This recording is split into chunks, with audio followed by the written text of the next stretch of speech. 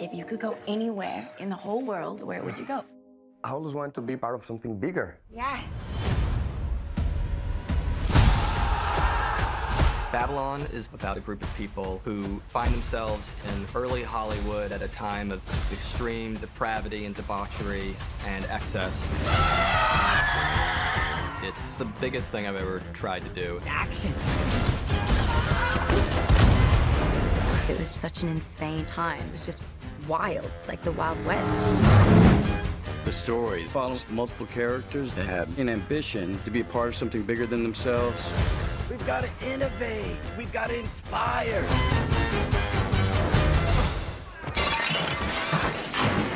Jack Conrad is the biggest film actor at the top of his game, and he's calling a lot of the shots. Take two frames off the tail and three more off the head. Manny is our guide through the story. These are eyes and ears from an outsider's point of view. He's a dreamer, someone that is trying to find his way. You can feel it. It's something bigger than life. Nellie is an aspiring actress. She's like a tornado. Hello, Colin. Ah, and she's not gonna let anyone stand in her way. I got here on my terms, not theirs. Party time! It's a uniquely different cinematic experience. And it's going to be truly amazing. It shows a side of Hollywood beyond what you could have imagined.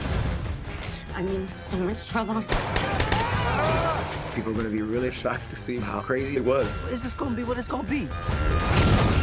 It's really funny at times. Look at these idiots. It's really sexy at times. The film is so big, it's really an epic. It's just phenomenal. No! Grant?